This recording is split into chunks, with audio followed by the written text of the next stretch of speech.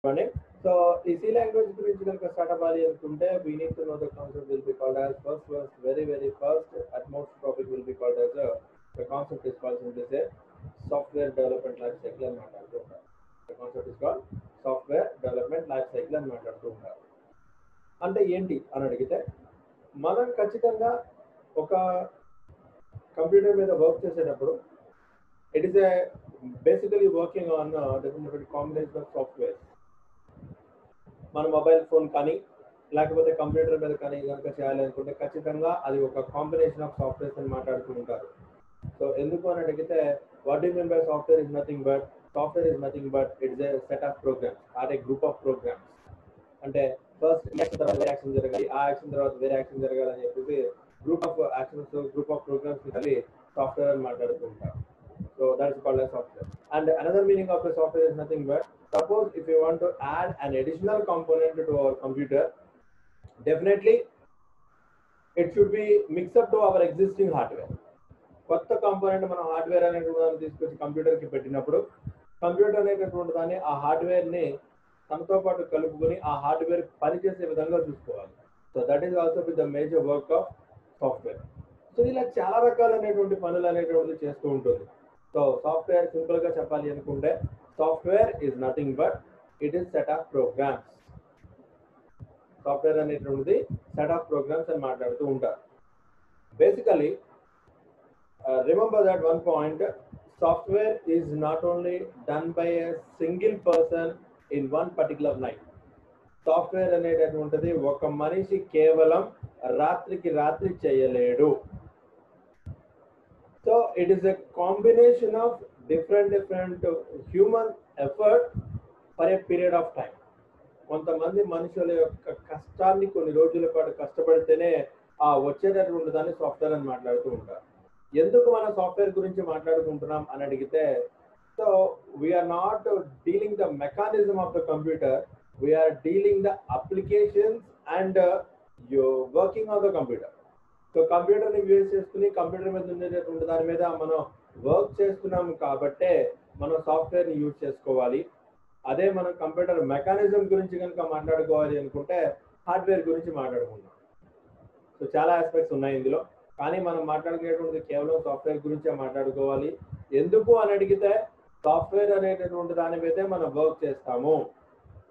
Software అంటే ఏంటి అని అడిగితే it is nothing but set of programs or group of programs ఆ గ్రూప్ ఆఫ్ ప్రోగ్రామ్స్ కనుక కలిపితే వచ్చేటువంటి దాన్ని సాఫ్ట్వేర్ మాట్లాడుతూ ఉంటారు. అలాగే ఏదైనా సరే ఒక కొత్త కాంపోనెంట్ ఏదైనా తీసుకొచ్చినప్పుడు ఆ కాంపోనెంట్స్ని యాడ్ చేసుకుని వర్క్ చేసే బాధ్యత చూసేది కూడా ఎవరు అని అడిగితే సాఫ్ట్వేర్ అని మాట్లాడుతూ ఉంటారు. సో ఇలా రకరకాలైనటువంటి అన్ని రకాలైనటువంటి కాంబినేషన్స్ని కలిపే సాఫ్ట్వేర్ అని చెప్పి చెప్పడం జరుగుతుంది. ఈ సాఫ్ట్వేర్ అనేటప్పుడు కనుక చేయాలి అనుకుంటే we need to know the very very first first concept will be called as software development life cycle అని మాట్లాడుతూ ఉంటారు. Very very first concept will be called as software development life cycle అని మాట్లాడుతూ ఉంటారు. SDLC explain the concept of software development life cycle అన్నా explain the phases of software development life cycle అన్నా so those all will becomes under one one one under root so ఈ software development life cycle first first ఏంటి అని అడిగితే so these are the basically following the steps అనమాట జనరల్గా మనం software అయితే తయారు చేసేటప్పుడు మనకి ఈ స్టెప్స్ అనేటటువంటివి కామన్గా ఉంటూ ఉంటుంది. First one will be called as a communication అని మాట్లాడతారు. And the second one will be called as a requirements gathering అని మాట్లాడతారు. And the third one will be called as a feasibility study అని మాట్లాడతారు.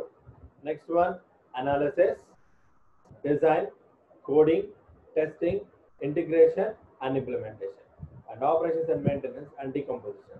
So these are the basically different different types of uh, software development life cycle అని మాట్లాడటం జరుగుతుంది. So ఇందులో చాలా రకాలు ఉన్నాయి. సో నేను మీకు పాత రోజుల్లో చెప్పిన ప్రీవియస్గా చెప్పినప్పుడు analysis design coding testing implementation అని మాట్లాడటం జరిగింది. సో దాంతో పాటు ఇంకా కొంచెం అడిషనల్గా యాడ్ చేసుకుంటూ వెళ్తున్నాం.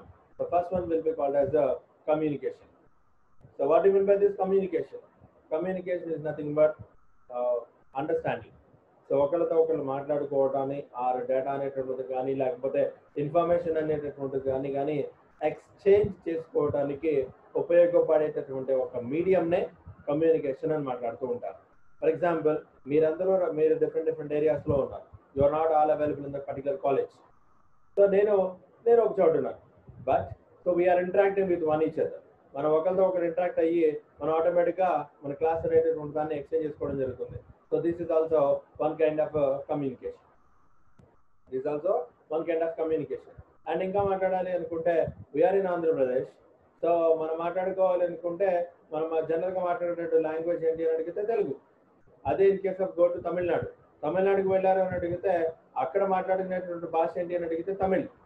సో ఆ లాంగ్వేజ్ ద్వారానే మాత్రమే ఒకరితో ఒకరు ఇంటరాక్షన్ అనేటువంటి జరుగుతూ ఉంటుంది so the means of the communication is nothing but the way or the process of transmission data or information between one and to another and ఒక చోట నుంచి ఇంకో చోటకి ఇన్ఫర్మేషన్ అనేది కానీ డేటా కానీ పాస్ అవుతున్నట్లయితే ఆ పాస్ అయ్యేటటువంటి మీడియంనే దేని ద్వారా పాస్ చేస్తున్నామో ఆ చెప్పే మీడియంనే కమ్యూనికేషన్ అని మాట్లాడుతూ ఉంటారు.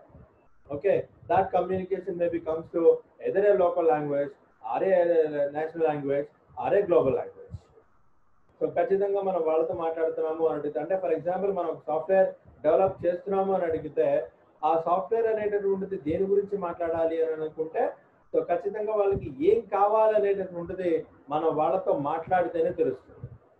So and one point remember software is not possible to develop by one by one person at a particular overnight రాత్రికి రాత్రి సాఫ్ట్వేర్ అనేటువంటిది చేయలేము. And also remember another point also software is not developed for our own software is not used for our own but it is used for another people so ఖచ్చితంగా ఏంటి అని అడిగితే మన software అనేటువంటిది మన కోసం మనం తయారు చేసుకోము. ఎవరి కోసం తయారు చేస్తామని అడిగితే దాన్ని యూజ్ చేసుకునేటటువంటి వాళ్ళు వేరే వాళ్ళు ఉంటారు. లేదా ఇంకా కరెక్ట్గా మాట్లాడాలి అనుకుంటే ఎవరైతే ప్రాబ్లమ్ని ఫేస్ చేస్తూ ఉంటారో ఆ ప్రాబ్లమ్కి సొల్యూషన్ కనిపెట్టబడేటటువంటి దాన్నే సాఫ్ట్వేర్ అని మాట్లాడుతూ ఉంటారు. సో ఇంకా క్లియర్గా చెప్పాలి అనుకుంటే వీఆర్ యూజింగ్ మొబైల్ ఫోన్స్ ఖచ్చితంగా మనం మొబైల్ ఫోన్స్ వాడుతున్నాం. మన మొబైల్ ఫోన్స్లో ఏముంటుంది అని అడిగితే ఏ సాఫ్ట్వేర్ డెవలప్ చేయాలన్నా సరే ఖచ్చితంగా ప్లే స్టోర్ నుంచి డెవలప్ చేస్తాం. సో ప్లే స్టోర్లో ఏమైంది అని అడిగితే ఆల్రెడీ రకరకాలైనటువంటి సాఫ్ట్వేర్స్ అనేటువంటి అందులో యాప్స్ అనేటువంటిది తయారు చేసి ఆ ప్లే స్టోర్లో పెట్టారు. ఆ ప్లే స్టోర్లో పెట్టినటువంటి యాప్స్ వాళ్ళ కోసం వాళ్ళు తయారు చేసుకున్నాయి అంటే కాదండి. మన కోసం తయారు చేసినవి. సో అంటే దాన్ని వాడుకునేటటువంటి వాళ్ళు వేరు డెవలప్ చేసేటటువంటి వాళ్ళు వేరు. సో ఇప్పుడు ఏంటని అడిగితే మనం సాఫ్ట్వేర్ డెవలప్మెంట్ టైం సైకిల్లో we're feel like as a developer మీరే ఒక సాఫ్ట్వేర్ తయారు చేయాలి అనుకునేటువంటి ఫీలింగ్లోకి వెళ్తేనే ఈ సాఫ్ట్వేర్ డెవలప్మెంట్ లైఫ్ సైకిల్ అనేది సింపుల్గా ఉంటుంది. సో అందులో వెరీ వెరీ ఫస్ట్ టాపిక్ ఏంటి అని అడిగితే communication communication is nothing but ఎలా ఉండాలి ఎలా మాట్లాడాలి లేకపోతే డేటా అనేటటువంటిది కానీ ఇన్ఫర్మేషన్ అనేటువంటిది కానీ ఎలా ఎక్స్చేంజ్ అవుతుంది ఒక ఎండ్ నుంచి ఇంకో ఎండ్కి ఆ ఆ ఎక్స్చేంజ్ అవడానికి ఉపయోగపడేటువంటి కాన్సెప్ట్ మొత్తాన్ని కమ్యూనికేషన్ అని మాట్లాడుతూ ఉంటారు. And the second one will be called as requirement gathering అని మాట్లాడుతూ ఉంటారు. First one will be called as communication this కమ్యూని చెప్పాను కదా this communication may be done either a local language or a national language or a global language local language is nothing but Telugu Tamil Kannada Malayalam national language is nothing but Hindi global language is nothing but English so మీరు ఏ భాషలో అయినా సరే మాట్లాడండి. ఆ మాట్లాడడం అనేది road ఇక్కడ కంపల్సరీగా కావాలి. నేను ఆల్రెడీ మీకు ఎగ్జాంపుల్ చెప్పాను. For example if you want to conduct farewell program or annual day program or freshers day program ఖచ్చితంగా అక్కడ ఎవరో ఒకరు నిలబడి మాట్లాడాలి. ఆ మాట్లాడేటటువంటి వాళ్ళకి ఉపయోగపడేటటువంటి దాన్నే కమ్యూనికేషన్ అని మాట్లాడతాను సో ఖచ్చితంగా ఏది చేయాలన్నా కన్ఫామ్గా ఏదో ఒక కమ్యూనికేషన్ అనేటువంటిది ఉండాలి. ఉన్నప్పుడు మాత్రమే జరుగుతుంది. ఇంకా గడగా చెప్పాలి అనుకుంటే మీరు ఏదైనా సరే ఒక సి లాంగ్వేజ్ ప్రోగ్రామ్ కానీ లేకపోతే ఏదైనా సరే మీరు మీ చాలా ఉంది మీ మైండ్లో మీ మైండ్లో ఉన్నటువంటి దాన్ని మొత్తాన్ని మీ పేపర్ మీద పెట్టాలి అంటే డెఫినెట్గా యూనిట్ టు కమ్యూనికేట్. మీరు పేపర్ మీద పెట్టినప్పుడు మాత్రమే దానికి సంబంధించిన మార్క్స్ చేయడం జరుగుతుంది. మీరు మైండ్లో అనుకున్నది మాత్రం నాకు వచ్చేసారి నాకు బాగా వచ్చాను అనుకున్నాం అనుకోండి అది మీ మైండ్లోనే ఉంటుంది కానీ ఆదాగా రీచ్ అవ్వదు. సో మాకు రీచ్ అవ్వాలి అనుకుంటే ఖచ్చితంగా మీరు పేపర్ మీద పెన్ పెట్టాలి. పెన్ పెట్టి రాయాలి.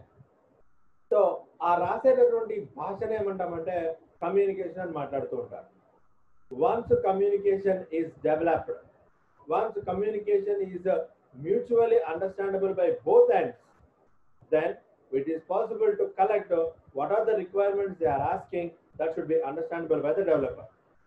So ఖచ్చితంగా కమ్యూనికేషన్ అనేటటువంటిది బాగా వచ్చిన తర్వాత కమ్యూనికేషన్ అనేటువంటిది వాళ్ళిద్దరి మధ్యలో ఫామ్ అయింది అని తెలిసిన తర్వాత వాళ్ళు ఏం కోరుకుంటున్నారో చెప్పేటటువంటి కాన్సెప్ట్ నే రిక్వైర్మెంట్స్ గ్యాదరింగ్ అంటారు.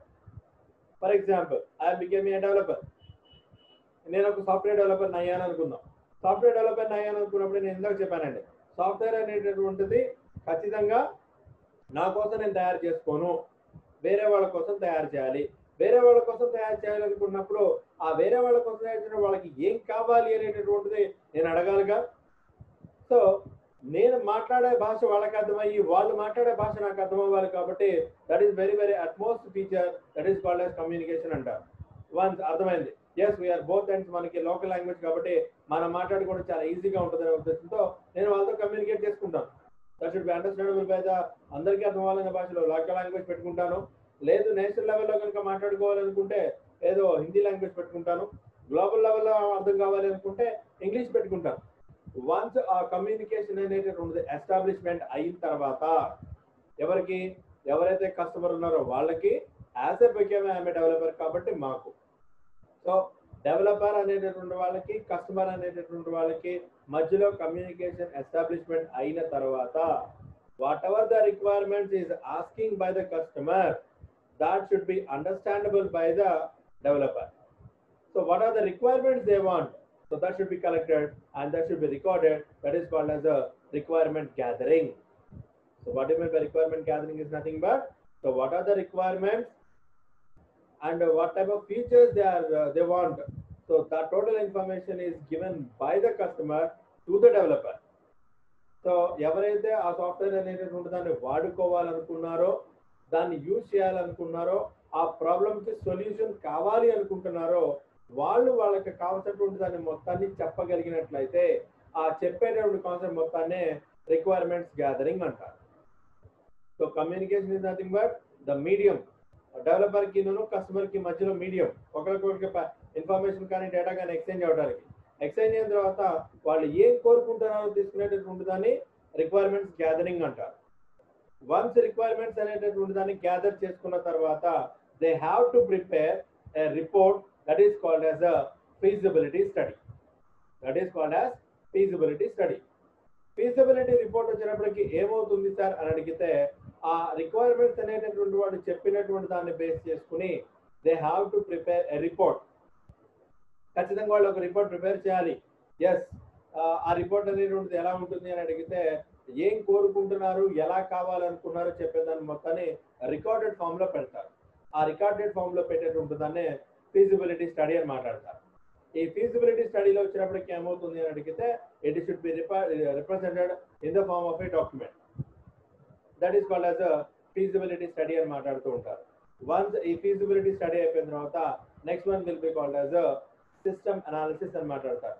So what will by analysis analysis is nothing but feasibility report వచ్చినటువంటి దాన్ని బేస్ చేసినటువంటి దానిలో నెంబర్ ఆఫ్ సొల్యూషన్స్ అనేవి కనుక ఉన్నట్లయితే వాటిలో ఆప్టిమల్ సొల్యూషన్ ఏంటి అనేటటువంటి దాన్ని చెప్పే కాన్సెప్టే అనాలిసిస్ అంటే ఏంటి అని అడిగితే ఇందాక ఏం కావాలనేటువంటిది చెప్తారు. దట్ ఈస్ రిక్వైర్మెంట్స్ గ్యాదరింగ్ దాని మొత్తాన్ని ఒక డాక్యుమెంట్ ఫామ్లో పెడతాము. That is called as a feasibility study or feasibility report ఈ ఫీజిబిలిటీ రిపోర్ట్ బేస్ చేసుకున్నటువంటి దానిలో నెంబర్ ఆఫ్ సొల్యూషన్స్ కనుక ఉన్నట్లయితే ఎస్ దాన్ని మనం చేయగలము. ఇలా చేయగలము.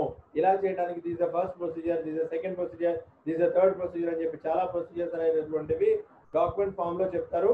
దట్ ఈస్ ఫీజిబిలిటీ స్టడీ ఆ ఫీజిబిలిటీ స్టడీ అయిపోయిన తర్వాత వాటిలో best solution or best way ఏంటి అనేటటువంటి దాన్ని ఆ వర్క్ చేసేటువంటి కాన్సెప్ట్ నే ఈ అనాలిసిస్ అని మాట్లాడుతూ ఉంటారు. ఈ అనాలిసిస్లో వచ్చినప్పటికి ఏమవుతుంది అడిగితే మనం ఆ సాఫ్ట్వేర్ అనేటటువంటి దాన్ని ఎన్ని రోజుల్లో కంప్లీట్ చేయగలము? ఎలా కంప్లీట్ చేయగలము దానికి అయ్యేటటువంటి బడ్జెట్ కాస్ట్ ఎంత దానికి అయ్యేటటువంటి హ్యూమన్ రిసోర్సెస్ అనేటటువంటివి మ్యాన్ పవర్ ఎంత కావాలి ఇలాంటి వాటన్నిటి గురించి డీల్ చేసే కాన్సెప్టే సిస్టమ్ అనాలిసిస్ అని మాట్లాడతారు. సో ఫీజిబిలిటీ రిపోర్ట్ ఇచ్చినటువంటి దానిలో బెస్ట్ సొల్యూషన్ తీసుకుని దానికి సంబంధించినటువంటి టోటల్ ఎన్విరాన్మెంట్ని క్రియేట్ చేసుకోగలిగితే that is called as a system analysis అని మాట్లాడుతూ ఉంటారు. ఈ సిస్టమ్ అనాలిసిస్లో వచ్చినప్పటికి ఏమవుతుంది అని అడిగితే టోటల్ బడ్జెట్ కాస్ట్ ఎంత? ఆ సాఫ్ట్వేర్ తయారు చేయడానికి పడేటువంటి కాస్ట్ ఎంత పడుతుంది? ఎంతమంది మ్యాన్ పవర్ కావాలి? ఎన్ని రోజుల్లో నేను దాన్ని కంప్లీట్ చేయగలను? ఇలాంటి వాటన్నిటి గురించి స్టడీ చేసే కాన్సెప్టే సిస్టమ్ అనాలిసిస్ అని మాట్లాడుతూ ఉంటారు. అండ్ కడగా చెప్పాలి అనుకుంటున్నా దీని గురించి చెప్పేటప్పుడు detailed study of a project. ఆ ప్రాజెక్ట్ మనం ఏదైతే తీసుకున్నామో ఆ ప్రాజెక్ట్ చదివినటువంటి దాని గురించి డీటెయిల్డ్గా మనం స్టడీ చేయగలిగితే that is called as system analysis అని మాట్లాడతారు. Once system analysis is over yes చేయగలము. ఎంత మ్యాన్ పవర్ కావాలి? ఇన్ని రోజుల్లో మనం కంప్లీట్ చేయగలము? ఎంత ఖర్చు అవుతుంది? అని చెప్పి చెప్పిన తర్వాత దానికి డయాగ్రమాటిక్ రిప్రజెంటేషన్ కనుక ఇవ్వగలిగినట్లయితే that is called as software design. Next one will be called as software design.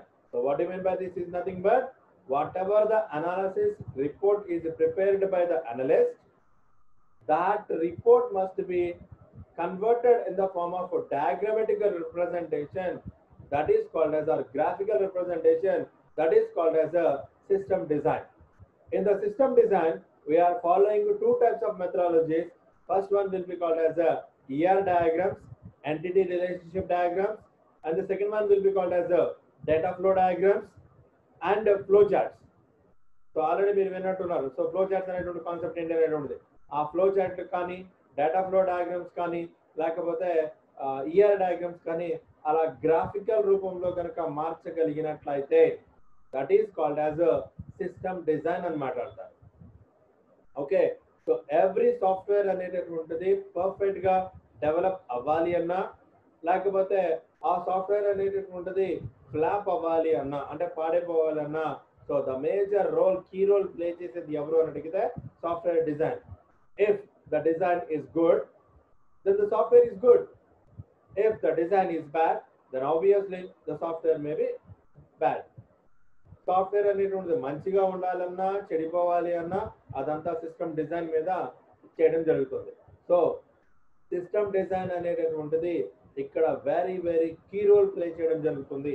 అని చెప్పి చెప్పడం జరుగుతుంది so system that is after completion of the system designing అనేది కంప్లీట్ అయిపోయిన తర్వాత next one will be coming to the called concept is called that is called as coding coding is nothing but whatever the flow charts or whatever the diagrammatic representation is given by the designer that should be converted in the form of a system understandable form that is called as coding so ఖచ్చితంగా designer అనేటటువంటి వాడు entity relationship డయాగ్రమ్స్ని కానీ లేకపోతే ER డయాగ్రమ్స్ని కానీ లేకపోతే flow charts కానీ ఏదో ఒక రూపంలో డయాగ్రామెటిక్గా చూపిస్తారు. ఆ చూపించినటువంటి దాన్ని సిస్టమ్ అండర్స్టాండబుల్ ఫామ్లోకి మార్చాలి. సిస్టమ్ అండర్స్టాండబుల్ ఫామ్లోకి మార్చాలి అంటే ఖచ్చితంగా we need to use any kind of language ఏదో ఒక లాంగ్వేజ్ అనేటువంటి దాన్ని యూజ్ చేయాలి. Either it is a web based programming or whether it is a standard alone programming or anything else so web based programming అంటే like ఏఏఎస్పినో లేకపోతే జేఎస్పినో లేకపోతే డాట్ నెట్టో లేకపోతే జావానో ఇలా డిఫరెంట్ డిఫరెంట్ టైప్స్ ఆఫ్ ఏదో ఒక ప్రోగ్రామింగ్ లాంగ్వేజ్ యూజ్ చేసి మనం దాన్ని కన్వర్ట్ చేయాలి. సో అక్కడ ఒక అప్లికేషన్ అనేటువంటిది ఆ ఫామ్లో మార్చేటువంటి కాన్సెప్ట్ నే కోడింగ్ అని మాట్లాడుతూ ఉంటారు. ఈ కోడింగ్ కే మనకి C C plus plus Java dot net ఇలాంటివన్నీ ఇందులోకి రావడం జరుగుతుంది. సో పిహెచ్పి అని ఇలాంటివన్నీ రావడం జరుగుతుంటుంది సో వన్స్ కోడింగ్ అనేటటువంటి దాన్ని చేసేసిన తర్వాత ఆ ప్రోడక్ట్ అనేటటువంటిది డెవలప్మెంట్ జరుగుతుంది. డెవలప్మెంట్ జరిగిన తర్వాత దాన్ని డైరెక్ట్గా కస్టమర్ ఇచ్చేస్తారా? యూజ్ చేసుకోండి అని కాదండి. సో ఖచ్చితంగా దాన్ని రకరకాలుగా టెస్ట్ చేయాలి. రకరకాలుగా టెస్ట్ చేయాలి ఇస్ నథింగ్ బట్ అది ఏమైనా సరే ఎర్రర్స్ని క్రియేట్ చేస్తుందా? అనుకో ఏదైతే ఫస్ట్ రిక్వైర్మెంట్స్ గ్యాదరింగ్లో కస్టమర్ అనేటటువంటి వాడు ఏదైతే చెప్పాడో వాళ్ళ యొక్క ఎస్టిమేషన్స్ని రీచ్ అవుతుందా లేదా? ఇలాంటి వాటన్నిటి చూసే బాధ్యత ఎవరిది అని అడిగితే testing so testing is nothing but so test or identify the bugs ఖచ్చితంగా చూడండి మనం ప్రోగ్రామ్ రాస్తున్నాము. మనం సి లాంగ్వేజ్లో కానీ జావాలో కానీ లేకపోతే సి లో కానీ ఎక్కడైనా సరే ప్రోగ్రామ్ రాస్తాం. ప్రోగ్రామ్ రాసేసాము ఆ ప్రోగ్రామ్ వచ్చేసి తీసుకెళ్ళిపోవడం ఇచ్చేస్తారా? ఎవరుగా? ఖచ్చితంగా we have to compile the program so what even by compiling so identify the errors తప్పులు ఏమన్నా ఉన్నాయా అని వెతకడం. ఆ వెతికేటువంటి కాన్సెప్ట్ నే టెస్టింగ్ అని మాట్లాడుతూ ఉంటారు. Once testing is successfully completed then the product is ready for use testing అనేది అయిపోయిన తర్వాత ఆ ప్రోడక్ట్ అనేటువంటి దాన్ని వాడుకోవడానికి సిద్ధంగా ఉన్నట్లు. టెస్టింగ్ కరెక్ట్గా జరగలేదు అనుకోండి సార్ ఆ ప్రోడక్ట్ వాడుకోవడానికి పనికిరాదు. సో ఈ టెస్టింగ్లోనే రెండు రకాలైనటువంటి టెస్టింగ్స్ ఉంటాయండి. First one will be called as system testing అంటారు and the second one will be called as manual testing అని మాట్లాడతారు. సో మాన్యువల్ టెస్టింగ్లో వచ్చినప్పటికి ఏమవుతుంది అని అడిగితే మనిషి అనేటటువంటి వాడు అందులో ఉన్నటువంటి తప్పులు ఉన్నాయా లేదా అనేటటువంటిది మనిషి బ్రెయిన్ యూజ్ చేసుకుని చెప్తూ ఉంటారు. That is called as manual testing and in case of comes to ఆ మనిషి అనేటటువంటి వాడు కూడా I mean to say identify చేయలేనటువంటి మిస్టేక్స్ని సిస్టమ్ కనుక అర్థం చేసి ఐడెంటిఫై చేయగలిగితే that is called as system testing అని మాట్లాడతారు. సో మాన్యువల్ టెస్టింగ్ అని సిస్టమ్ టెస్టింగ్ అని ఉంటుంది. మాన్యువల్ టెస్టింగ్ వచ్చినప్పటికి ఏమవుతుంది అని అడిగితే రకరకాల మెథడ్స్ ఉంటాయండి. ఏంటి? బ్లాక్ బాక్స్ టెస్టింగ్ అని వైట్ బాక్స్ టెస్టింగ్ అని యూనిట్ టెస్టింగ్ అని ఇలా చాలా ఉంటాయి. అదే in case of comes to system టెస్టింగ్లో వచ్చినప్పటికి దానికి దానికి కూడా ఆ తప్పులు ఎతకడానికి కూడా సాఫ్ట్వేర్స్ ఉంటాయి. ఏంటి? Win runner load runner test director SQA silk ఇలాంటి సాఫ్ట్వేర్స్ అన్నీ ఉంటాయండి. ఆ సాఫ్ట్వేర్స్ యూజ్ చేసి తప్పులు ఎదుగుతారు.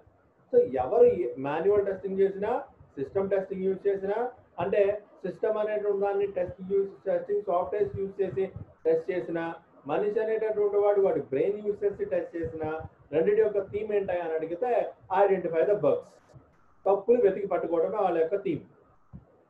సో వన్స్ తప్పులు లేకుండా మనం సాఫ్ట్వేర్ అనేటువంటిది కనుక తయారు చేసి పెట్టాము అంటే that is ready for use so that is concept is call simply testing అని మాట్లాడుతూ ఉంటారు. అండ్ టెస్టింగ్ అనేటువంటి దానికి కంప్లీట్ అయిపోయిన తర్వాత next one will be called as integration అని మాట్లాడుతుంటారు. So what you mean by this integration అని అడిగితే చెప్పాం కదా ఇందాక సాఫ్ట్వేర్ అనేటటువంటిది ఖచ్చితంగా ఒక మనిషి చేయలేడు. A project is done by group of people చాలా మంది కలిపి పనులు చేసుకుంటూ వెళ్తారు. ఇంకా మీకు అర్థమైన భాషలో చెప్పాలనుకుంటే చెప్పాం కదా for example you want to conduct a freshers party freshers party conduct చేసుకోవాలనుకుంటే ఒక పర్సన్ చేస్తారు? ఫ్రెషర్స్ పార్టీ మొత్తం చేయలేడండి ఖచ్చితంగా it's a collection of work it's a group of work ఆ గ్రూప్ ఆఫ్ వర్క్ వచ్చినప్పుడు ఏమవుతుంది? అడిగితే ఒకళ్ళ యొక్క వర్క్తో ఇంకొకళ్ళ వర్క్ అనేటువంటిది కంబైన్ చేసుకుంటూ వెళ్తేనే ఆ యొక్క ఆ ఫంక్షన్ అనేది సక్సెస్ఫుల్గా కంప్లీట్ అవుతుంది. ఇన్ ద సేమ్ ప్రొసీజర్ ఒక ఒక మ్యారేజ్ ఫంక్షన్ తీసుకున్నప్పుడు మ్యారేజ్ ఫంక్షన్ వచ్చినప్పటికీ మొత్తం పనులు మొత్తం ఒకళ్ళే చేస్తారంటే చేయరు. సో ఖచ్చితంగా డెఫినెట్గా దానికంటూ some kind of collection of work ఉంటుంది. ఆ ఎవరు చేయాల్సినటువంటి వర్క్ని వాళ్ళు సక్సెస్ఫుల్గా మీట్ అవుతూ అన్నింటిని కనుక కలిపి కనుక చేయగలిగినప్పుడు మాత్రమే ఆ పర్టికులర్ వర్క్ అనేటువంటిది కంప్లీట్ అవుతుంది. So that is called as integration అని మాట్లాడతారు ఇంటిగ్రేషన్ ఇస్ నథింగ్ బట్ కలపడం. ఎందుకు అని అడిగితే software can be developed in the form of modules so different different modules కింద విడగొడతారు. All the modules will be integrated then only we can build a complete product so complete product అనేటువంటి develop చేయాలనుకున్నప్పుడు అందులో ఉండేటువంటి modules ఏవైతే ఉన్నాయో ఆ modules అన్ని combine చేసినప్పుడు మాత్రమే ఆటోమేటిక్గా ప్రొడక్ట్ అనేటువంటి డెవలప్ అవుతుంది. ఆ కలిపే బాధ్యత ఏమవుతుంది అని అడిగితే that is called as integration అని మాట్లాడతారు.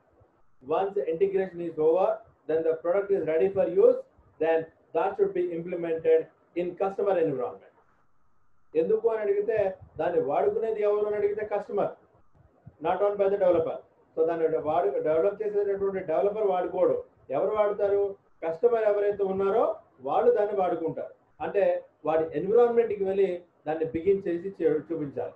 So that is called as implementation అంటారు. ఎందుకు సార్ అని అడిగితే ఇక్కడ మేబీ ట్రబుల్స్ రావచ్చు. ఏంటి? ఫర్ ఎగ్జాంపుల్ నేను ఖచ్చితంగా ఈ సాఫ్ట్వేర్ ఇప్పుడు కరెక్ట్ చెప్పాలంటే for example we are using the online classes కోసం ఒక టూల్ వాడుతున్నాం. సో ఈ ఆన్లైన్ క్లాసెస్ టూల్ వాడుతున్నప్పుడు నా ఎండ్లోనూ ఆ టూల్ ఉండాలి మీ ఎండ్లోనూ ఆ టూల్ ఉండాలి. డెవలప్ చేసేవాడు కూడా అదే విధంగా డెవలప్ చేస్తాడు. ఫర్ ఎగ్జాంపుల్ డెవలప్ చేసేటువంటి వాడు ఏ విండోస్ టెన్ ఆపరేటింగ్ సిస్టమో లేకపోతే ఏ ఆండ్రాయిడ్ ఆపరేటింగ్ సిస్టమో దానికి సపోర్ట్ అయ్యే విధంగా వాడి ఇచ్చినప్పుడు దాన్ని నేను చెప్పాలనుకున్నప్పుడు నేను a Windows seven operating system ఏదో ఉంటుందంటే రాదు. లేదా మీరు ఆండ్రాయిడ్ ఫస్ట్ వెర్షన్ వాడుకుని దానిలో నాకు ఈ సాఫ్ట్వేర్ వాడాలి అంటే వాడడం కుదరదు. అలా సో అంటే మనం డెవలప్ చేసేటప్పుడు ఏ ప్రోడక్ట్ అయితే ఉందో అదే ప్రోడక్ట్ అనేటటువంటిది కస్టమర్ ఎన్విరాన్మెంట్లో కూడా ఉందా లేదా? ఉండాలి అంటే ఏమేమి సెట్ చేయాలి అనేటటువంటి దాని గురించి చెప్పే కాన్సెప్ట్ నే ఇంప్లిమెంటేషన్ అని మాట్లాడతారు. And the next one will be called as operations and maintenance అని మాట్లాడతారు.